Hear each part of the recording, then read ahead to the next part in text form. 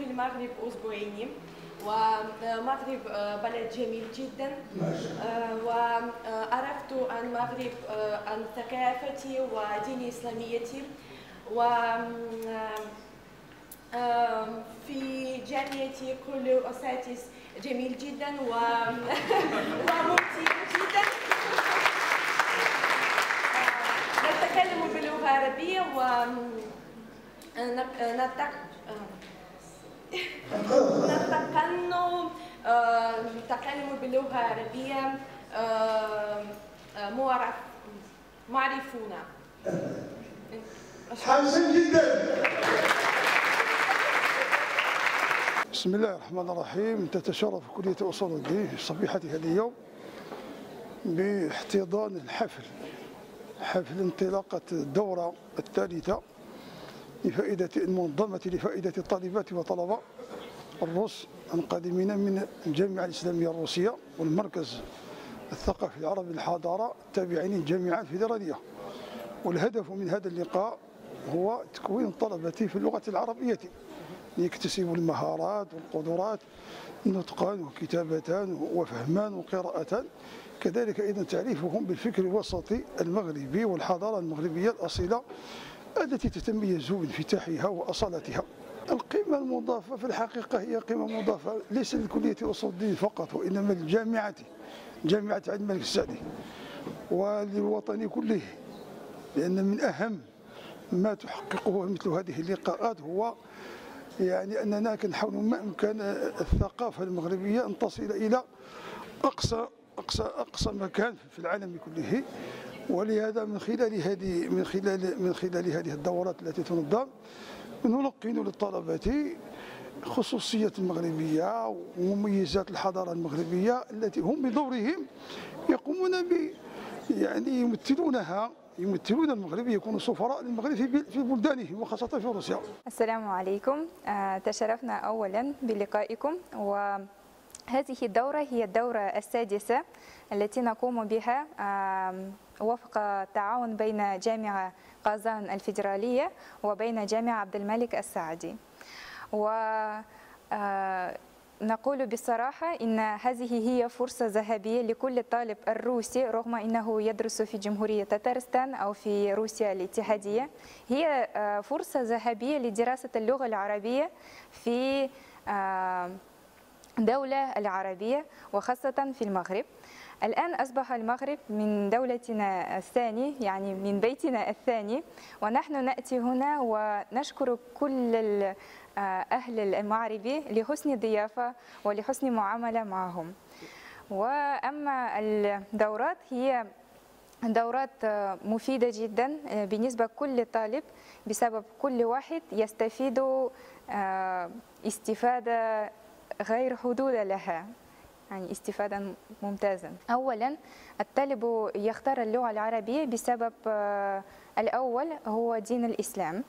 وثانيا بسبب اللغة العربية لغة العمل. ممكن يعملون مثل مترجمين ومثل المدرسين في روسيا وفي بلدان العربية مثل مدرسين اللغة الروسية مثلا ولكن باللغة العربية للعرب. وماذا يدفعهم للسفر إلى المغرب؟ بسبب أولا مسافة طويلة جدا وثانيا المغرب بلد فيه الحضارة والثقافة خاصة بها. وأيضا في المغرب نحن نحس أن هناك تعاون الحضارات مثلا مثل عندنا في جمهورية تتارستان عندنا في جمهورية تتارستان تعاون بين حضارة روسية وبين حضارة تتارية ولكن هنا تعاون ثلاث حضارات كما أظن حضارة العربية إسلامية وحضارة المغربية أمازيغية والحضارة أوروبية فرنسية برتغالية وإسبانية. ولذلك المغرب مكان له اهتمام خاص للطلبة. القيمة لهذه المعاملة ولهذا التعاون. وخاصة إن المغرب بلد بلد السلام والسليم. وبالنسبة لكل هو ممكن يرى أن في المغرب يتعايشون الأديان ويتعايشون الطوائف طوائف طوائف مختلفة. ولذلك يعني نرى أن هناك رغم البغض توجد هناك أهمية كبيرة للمغرب في هذا المجال. آه، شكرا لكم جميعا. بطبيعة الحال آه، أنا أحل اليوم ضيف وكلنا ضيوف كلية أصول الدين في اجتماعنا مع آه، الوفد الطلابي القادم من الجامعة الإسلامية والمركز الثقافي العربي الحضارة بتتارستان. وهذا الأجواء بطبيعة الحال هي تدخل في إطار سنة تأكدت عبر عدة سنوات والمتمثلة في آه، تنظيم حفل استقبال على شرف هؤلاء الطالبات والطلبة الذين يفيدون إلى بلدنا. والمعروف أن كمغاربة بطبيعة الحال إكرام الضيف وتقديم أحسن صورة عن البلد إن شاء الله. وهذا هو آه، آه، مبرر تواجدنا في هذا الفضاء. بطبيعة الحال كإدارة حي جامعي عملنا بهمة وبجد طيلة هذه الدورات. على توفير شيء أساسي لهؤلاء الطالبات والطلبة. ألا وهو آه، الإيواء توفير الإيواء بطبيعة الحال. آه، أهمية الإيواء هؤلاء الطالبات والطلبة. لا تخفى على أحد. وهذا بطبيعة الحال يدخل في إطار انخراطنا جميعا من أجل تقديم أو بغية تقديم صورة مشرفة عن البلد التي نتميز بها كمغاربة أولا انفتاحنا على غيرنا آه، سعينا لنسج علاقات مع آه، مجتمعات لا تعرف عنا ولا نعرف عنها نحن أيضا الكثير.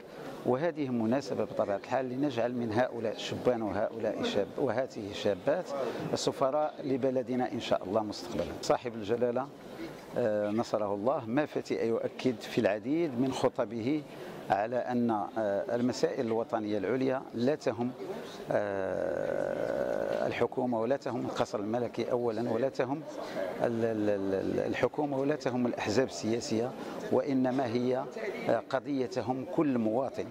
ومن موقعنا بطبيعة الحال فلا يمكن أن نغفل هذا الجانب. فعملنا بطبيعة الحال في هذا الإطار سعينا للتعريف بالقضايا الوطنية بالحضارة المغربية بخصوصيات مجتمعنا بانفتاحه على الغير. كل هذه الأهداف بطبيعة الحال تدخل في إطار دبلوماسية موازية التي يجب أن ينخرط فيها الجميع. هذا الحمد لله. آه، نحمد الله أن وفقنا على القيام بهذا الدور. نتمنى بطبيعة الحال أن ننفتح على جهات ودول أخرى.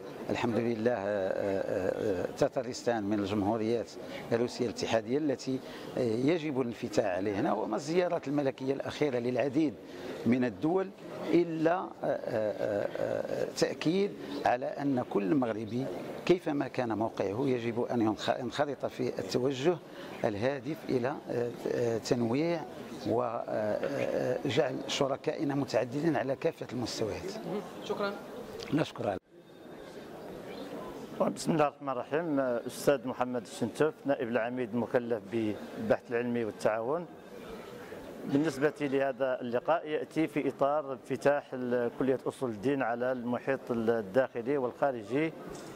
وتم إبرام مجموعة من الشراكات مع مجموعة من المؤسسات وجاء تفعيل بعض هذه الشراكات ومنها يعني الشراكة التي تمت بين كلية أصول الدين والمركز العربي الثقافي الحضارة بين قوسين الحضارة بجمهورية تترستان روسيا الاتحادية.